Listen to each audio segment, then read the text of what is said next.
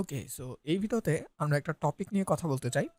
সেটা হলো বেসিক তো অনেক সময় দেখা যায় যে যখন আমরা স্টুডেন্টদেরকে পড়াতে চাই তখন সে যখন কোনো একটা কিছু পারে না, আমরা বলে দিই যে তোমার বেসিকের সমস্যা, তোমার বেসিক্সটা একটু স্ট্রং করতে হবে। বা অনেক সময় স্টুডেন্টরাও আমাদের কীভাবে বলে যে, ভাই, আমি এই জিনিসটা বুঝতে পারতেছি না। আমার বেসিকের একটু সমস্যা হচ্ছে, এটা যদি একটু ভালোভাবে বুঝিয়ে দিতেন তাহলে ভালো হতো বাট কথা হলো, এই যে বেসিক যে জিনিসটা আছে না, এটা কিন্তু অনেকটা ভেগ এবং কিছুটা সাবজেক্টিভ ফেক বলতে কি বোঝাচ্ছে যে এটার মিনিংটা একটু ধোয়াশা ধরনের হ্যাঁ? একদম কংক্রিট কোনো মিনিং নাই, যে বেসিক বলতে আমি এই জিনিসটাই বোঝাচ্ছি। আর সাবজেক্টিভ বলতে কি, এটা ব্যক্তি টু ব্যক্তি নির্ভর করে। যেমন যখন আমি বেসিক কথা বলি যে তোমার বেসিকের সমস্যা, তখন কোন স্টুডেন্টকে বলছি সেটার উপর বেস করে তার অর্থ কিন্তু ডিফারেন্ট হয়। আমি যেটা করি, আমার পার্সপেক্টিভে আমি যখন বলি স্টুডেন্টদেরকে যে তোমার বেসিকের সমস্যা, তখন আমি মোটামুটি তিনটা জিনিসকে মিন করি। একটা হচ্ছে তার প্রি রিকোয়েস্টেড একটা নলেজ নাই। মানে কোনো একটা জিনিস বোঝার জন্য আগে থেকে এই জিনিসটা জানা থাকতে হবে, সেরকম কিছু একটা তার জানা নেই। ঠিক আছে? দুই নম্বর হলো, যে টপিকটা আমি পড়াচ্ছি সেই টপিকটা নিয়ে তার এখন একটা বিগ পিকচার বা একটা জিস্ট ধারণা তৈরি হয়নি। আর তিন নম্বর হলো সানে নজুল এই জিনিসটা সে এখনও জানে না। ঠিক আছে? তো এই তিনটা জিনিস ইউজুয়ালি দেখা যায়। এবং লাস্টের যে জিনিসটা না, সেটা স্পেশালি আমি দেখি যা আমি যখন ইউজ করি, তখন আমি ফিজিক্সে এই জিনিসটাকে অনেক বেশি ইউজ করি। ফিজিক্সের কনটেক্সটে এই জিনিসটা আরও বেশি রেলেভেন্ট কিন্তু অন্য দুইটা কিন্তু সব কনটেক্সটেই মোটামুটি রেলেভেন্ট থাকে। তো এটাকে আমার মনে হয় যে কিছু উদাহরণ দিয়ে বোঝানোটা একটু বেশি সহজ হবে বা একটু বোধগম্য হবে জিনিসটা বোঝানো। তো আমি একটা উদাহরণ নেই। মনে করো যে এখানে একটা স্টুডেন্ট আছে। স্টুডেন্টটা হলো একটা স্টিকম্যান তার হাত আছে, পা আছে, আর কিছু নাই। ব্রেনও থাকতে পারে। যাক, আমরা একটা ব্রেন দিই। ইউজুয়ালি বেশিরভাগ স্টুডেন্টের ব্রেন থাকে না, যেমন আমারও নাই। যাই হোক, সমস্যা নেই। এখানে ধরলাম যে একটা ব্রেইন স্টুডেন্ট আছে। তো সেই যে স্টুডেন্টটা সেই স্টুডেন্টটা এখন কি করল? মাত্র এসএসসি পাস করল। ভালো কথা এসএসসি পাস করল। পাস করার পর সে কলেজ অ্যাডমিশন দিল অথবা দিল না। যেমন চট্টগ্রামে আমরা কলেজ অ্যাডমিশন দিতাম না। আমরা ডিরেক্ট এইচএসসির যে রেজাল্ট সেই রেজাল্টের উপর বেস করে কলেজে ঢুকে যেতাম। তো লেটস সে সে একটা এইচএসসি এক্সাম এইচএসসির জন্য সে একটা কলেজে ভর্তি হলো। কলেজে অ্যাডমিশন নিল। কলেজে অ্যাডমিশন নেওয়ার পর কী করবে? কলেজে অ্যাডমিশন নেওয়ার পরে সে নতুন নতুন অনেকগুলো বই পাবে। সো লেটস সেই আমার এখানে সে এখন একটা বই পেল, সেই বইটা হলো ফিজিক্সের বই, ঠিক আছে? তাহলে এখানে পেল কোনটা? ফিজিক্স এর বই। স্যার তাকে বলছে যে এই বইটা কিনতে, সে কারণে সেই বইটা কিনলো। ভালো কথা। কেনার পরে এখন সে কী করল? একটা চ্যাপ্টার খুললো। সেই চ্যাপ্টারটা হলো ক্যালক নিউটনিয়ান মেকানিক্স সে নিউটনের বিশাল ভক্ত। আপেল পড়ার কাহিনী শুনে সে অনেক বেশি উজ্জীবিত বা উৎসাহিত উৎসাহিত। তাই সে এখন নিউটনিয়ান মেকানিক্স পড়বেই পড়বে। পড়ে একদম ভাজা ভাজা করে ফেলবে। ওকে, তো ভালো কথা, তার নিউটনিয়ান মেকানিক্স সে পড়া শুরু করল। পড়ার সময় আমি কি করলাম, তাকে কয়েকটা জিনিস অলরেডি পড়াই ফেললাম। সেটা কি? সেটা হলো ফার্স্ট ল আমি তাকে পড়ালাম সেকেন্ড ল আমি তাকে পড়ালাম, এবং থার্ড ল আমি তাকে পড়ালাম।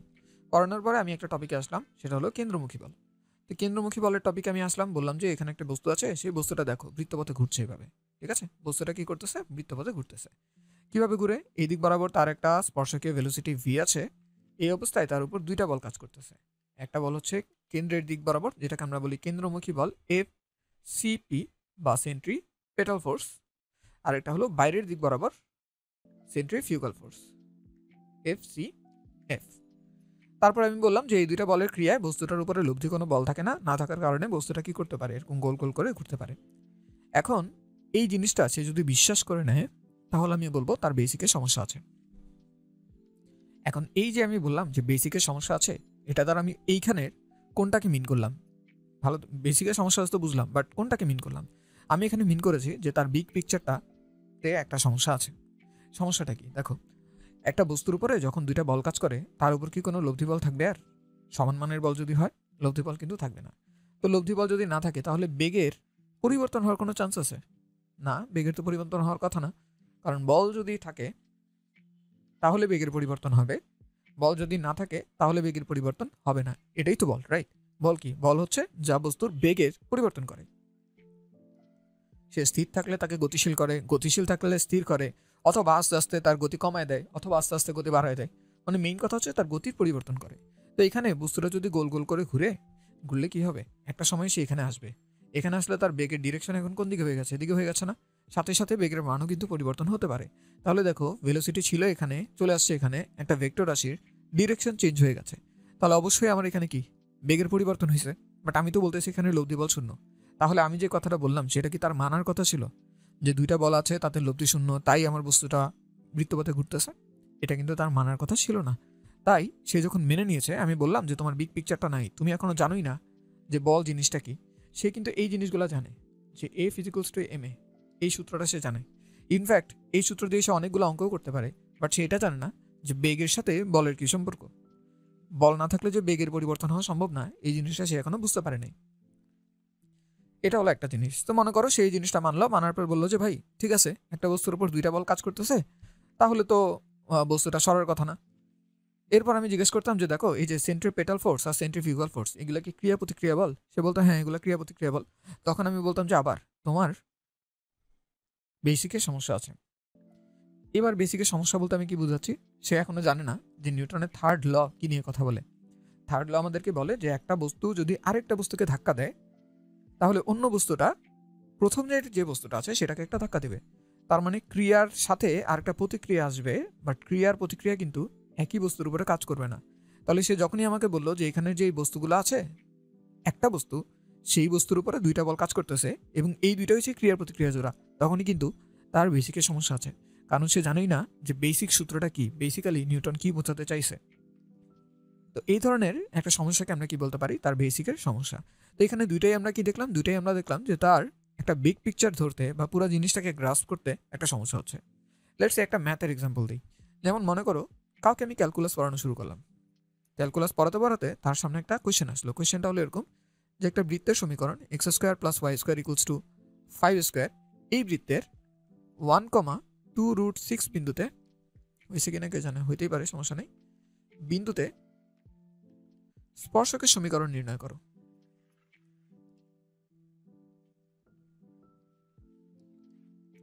ওকে তাহলে আরেকবার। একটা কার্ভের ইকুয়েশন আমাকে দিয়ে দিয়েছে, দেওয়ার পর বলল যে ওই কার্ভের এত বিন্দুতে স্পর্শকের সমীকরণ বের করো। এখন স্পর্শকের সমীকরণ বের করতে দিলাম, সে কি করল? চালাক মানুষ গাইড কিনছে। গাইড কেনার পর গাইডের ভিতর সলিউশনটা দেখল। দেখার পরে সে দেখল যে ওখানে একটা চিত্র আঁকা আছে, এরকম। এটা হলো আমাদের এই যে বৃত্তটা আছে সেটা সমীকরণ। তো সমীকরণটাকে একটু মার্ক করে রাখি। X square plus y square equals to five square তো সেটার উপরস্থ একটা বিন্দু এরকম দেখানো আছে। মানে গাইডের যে সলিউশন দেখছে সেখানে। তো সেখানে দেওয়া আছে one comma two root six তারপরে এরকম করে একটা স্পর্শক টান আছে। তো স্পর্শক টানার পরে বিভিন্নভাবে সলিউশন করা। যেমন প্রথমে কি করবে? এটার ডিওয়াইডি এক্সটা বের করবে। সো ডিওয়াইডি এক্সটা বের করে দেখল, সেটার ভ্যালু আসলো মাইনাস এক্স ওভার ওয়াই তারপরে ওয়ান কমা টু বিন্দুতে ডিওয়াইডি এক্সের মানটা বের করছে, কেমনে জানি হ্যাঁ? One comma two root six এই বিন্দুতে কি করল? ডিওয়াইডি এক্সের মানটা বের করল। তাহলে সেটা কত আসলো? One divided by two root over six এরপরে সে কি দেখল? এরপরে সে দেখল যে ওখানে লিখছে যে সরলরেখার সমীকরণ y minus five one equals to m into x minus x one তারপরে সে একটা অন্যরকম ব্যাপার দেখল যে ওয়াই ওয়ানের জায়গায় এই বিন্দুটা বসাইছে two root over six m এর জায়গায় কেন জানি এম এর জায়গায় কেন জানি one by two root over six বসাই দিছে। আর এক্স মাইনাস এক্স ওয়ান যে আছে এক্স ওয়ানের জায়গায় সে ওয়ান বসিল তো তারপরে পরের দিন সে আসলো, আসার পর আমাকে কোয়েশ্চেন করল যে, ভাই, সবই তো বুঝলাম। কিন্তু এখানে ঢালের জায়গায় যে minus one by root two two root over x এটা বস সিক্স এটা বসাইলো, এটা আমি বুঝতে পারিনি। তখন আমি বলব যে ভাই, তোমার তো ভিটামিনের সমস্যা নাই, থাকলে তো আমি ঠিক করতে পারতাম। তোমার তো সমস্যা বেসিকে এখন বলো, কেমনে ঠিক করব? তো এখন আমি যে বললাম যে তার বেসিকের সমস্যা, এইটা বলতে আমি কি বুঝাইতে চাচ্ছি? এটা বলতে আমি বোঝাতে চাচ্ছি যে তার একটা প্রি রিকোয়েস্টেড নলেজ নাই মানে এই জিনিসটা তার নাই। দুই নাম্বার হলো, তার সানি নজরুলটাও জানা নাই। সানি নজরুল মানে কি? সানি নজরুল মানে হলো পটভূমি, প্রেক্ষাপট, কোন জিনিসের বেসিস এই জিনিসটা তৈরি করা হয়েছিল, এমন একটা জিনিস। আমি অ্যাটলিস্ট ওইটা বুঝাচ্ছি এখানে। প্রি রিকোয়েস্টেড নলেজ নাই বলতে আমরা কি বোঝাচ্ছি? যে তার জানার কথা আগে থেকেই এই অঙ্কটা করার আগে যে ডিওয়াই ডিএক্স বা কোনো একটা ফাংশনের ডেরিভেটিভ মানে যে কোনো পয়েন্টে ঢালের ফাংশন। তো এখন আমি যখন এই পয়েন্টটা বসাইছি, ওই ঢালের ফাংশনে তখন ওই পয়েন্টে ঢাল কত সেটা আমি পেয়ে গেছি। তার মানে আমার এই জিনিসটা যে ঢাল হবে, সেটা তার একটা প্রি রিকোয়েস্টেড নলেজ হওয়ার কথা, তার এটা জানার কথা। এবং এটা সে জানবে কীভাবে? এটা সে জানবে যখন সে ডেরিভেটিভ জিনিসটা কি সেটাকে বুঝবে। এবং সেটা বোঝার কথা কখন? যখন তাকে ডেরিভেটিভটা পড়ানো হবে, একদম শুরুতে, যখন তাকে এই সানের নজরুলটা বোঝানো হবে। যে দেখো, এই ধরনের এই সরলরেখা রইলে ঢালটা সবসময় সেম থাকে বাট বক্ররেখা হলে ঢাল সবসময় সেম থাকে না। সেম না থাকার কারণে আমাদের একটা ফাংশন বের হয় এখানে। তো ফাংশনটা বের করার জন্য লিমিট টিমিটের ওই প্রসেসগুলো দেখাবে। তখন তার একটা বেসিক ওখানে বিল্ড আপ হওয়ার কথা। যে না, আমি রুট কজটা জানি। কেন? এই জিনিসটা এরকম হচ্ছে। তো তখন আমি তাকে কি বলব? যে, ভাই, এই জিনিসটা যেহেতু তুমি বুঝো নাই তোমার বেসিকের সমস্যা, তখন আমার একদম ফিরে যেতে হবে শুরুতে। যে, দেখো, এই কারণে এই কারণে এই কারণে ডিওয়াই ডিএক্স মানে আসলে কি হয়? ফাংশনের ঢাল হয়। আরেক ধরনের সমস্যা থাকতে পারে দেখো সে আমাকে বলতে পারল যে, ভাই সব কিছু তো বের করলাম সলিউশন টলিউশন এখান থেকে একটা সরলরেখার ইকুয়েশন এসে পাইছে। সামথিং ইকুয়ালস টু জিরো একটা সরলরেখার সমীকরণ এসে পাইছে। বাট সে বুঝতেছে না যে, এইটা কেমনে সেই সরলরেখাটা? এই যে, হলুদ যে রেখাটা আঁকছে এইটা কেমনি যে সরলরেখা, এটা সে বুঝতেছে না কোনোভাবে। তখন আমি কি বলব? যে ভাই, তোমার বেসিকে সমস্যা আছে। এখন কোন ধরনের বেসিকের সমস্যা? এখন হচ্ছে তার একটা প্রি রিকোয়েসেড নলেজ নাই। কোন প্রি রিকোয়েসেড নলেজ দেখো, এই জিনিসটা তার সিক্স সেভেন এইট নাইন এই চারটা বছরের কোনো না কোনো সময় তার পড়ে ফেলার কথা। যে কোনো একটা বক্ররেখা যদি থাকে, সেই বক্ররেখাকে একটা সরলরেখা যদি একটা বিন্দুতে ছেদ করে এবং এমনভাবে যদি ছেদ করে যাতে ওই বক্ররেখার ওই বিন্দুতে ঢালটা সরলরেখার ঢালের সমান হয়, তাহলে ওই সরলরেখাকে আমরা কি বলব? এই বক্ররেখাটার ঢাল বলব। দেখো, স্পর্শ করার জন্য কিন্তু একটা বিন্দুতে ছেদ করতে হবে এমন কোনো কথা নেই। যেমন মনে করো এরকম একটা বক্ররেখা, এই একটা সরলরেখা আমি আঁকলাম, একটা বিন্দুতে ছেদ করছে। হয়েছে এটা স্পর্শক, এটা কিন্তু স্পর্শক হয় নাই। স্পর্শ করার দুইটা শর্ত, একটা হচ্ছে একটা বিন্দুতে ছেদ করতে হবে, একটা বিন্দুতে ছেদ করা মাস্ট দুই নম্বর হচ্ছে ওই বিন্দুতে বক্ররেখার যে ঢাল, সেটাকে ওই সরলরেখার ঢাল হইতে হবে। তার মানে আমি যদি এমন একটা সরলরেখা আঁকি, তাহলে সেটা কি হবে? স্পর্শক হবে। ওকে তো এই লাল রেখাটা যে আমাদের এই বক্ররেখাটা স্পর্শক এই জিনিসটা কিন্তু তার এখন বোঝার কথা না। এটা তার প্রি রিকোয়েস্ট একটা নলেজ হওয়ার কথা, যেটা এই ক্লাসেরও আগে তার জানার কথা।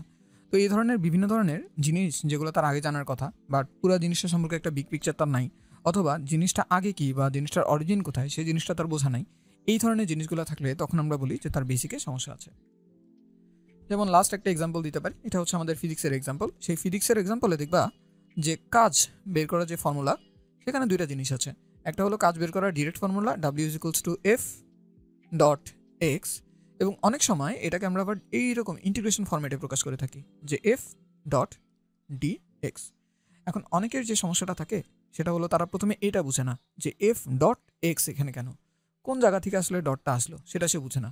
তো এই যে ডটটা কোন জায়গা থেকে আসলো, এটা কিন্তু তার একটা বেসিক নলেজ হওয়ার কথা। দুই নাম্বার, সে পার্থক্য করতে পারবে না, যে কখন কোনটাকে ইউজ করতে হবে। এই যে পার্থক্য করতে না পারাটা, এটাও তার একটা বেসিকের সমস্যা। এই জিনিসগুলো আসলে সে নিজে বিল্ড আপ করতে পারবে না। এটা তাকে কেউ একজন বিল্ড আপ করে দেওয়ার কথা অথবা কোনো একটা বই দেখে তার পড়ে ফেলার কথা। তো এই বেসিকের কথাগুলোতেও কিছু পার্থক্য আছে। কিছু বেসিক হচ্ছে নিজে নিজে বিল্ড আপ করার কথা। যেমন এই যে জিনিসগুলো, স্পর্শক যে হয়, এটাকে একটু বসানোর পরে তারপরে তার বোঝার কথা। যে না, এই জিনিসটা তো হওয়ারই কথা। নিজে নিজে রিজনিং করে বের করে ফেলা যেত। তারপরে এই যে জিনিসগুলো, সেগুলো আবার নিজে নিজে রিজনিং করে বের করাটা একটু কষ্টের। তাই এটা কেউ একজন তাকে বুঝিয়ে দেওয়ার কথা ছিল। তো এই ধরনের বিভিন্ন সমস্যা থাকতে পারে, যে সে প্রি রিকোয়েস্টেড কোনো একটা নলেজ জানে না, অথবা তার কোন জায়গা থেকে জিনিসটা অরিজিনেট হলো, সেই জিনিসটা তার জানা নেই, অথবা পুরো জিনিসটা তার পড়া শেষ এবং সে এখনও বিগ পিকচারটা ধরতে পারছে না। যেমন ক্যালকুলাস পুরোপুরি পড়া শেষ হয়ে গেছে বাট সে এখনও জানে না যে ক্যালকুলাসের যে চেঞ্জ হচ্ছে, এমন বিষয়গুলো নিয়ে পড়া হচ্ছে। এই ধরনের বিভিন্ন সমস্যা থাকলে আমরা তখন বলি যে তোমার বেসিকের সমস্যা আছে এবং ওইটাকে তোমার ঠিক করা লাগবে। তো আশা করি আমরা মোটামুটি বুঝতে পেরেছি যে বেসিক বলতে আমরা কি বুঝাই? পরবর্তীতে হয়তো কোনো একটা ভিডিওতে এই বেসিকগুলোকে কীভাবে বিল্ড আপ করা যায় বা ডেভেলপ করা যায়, সেগুলো নিয়ে আমি কথা বলব। আপাতত এই ভিডিওটা এতটুকুই থাকল।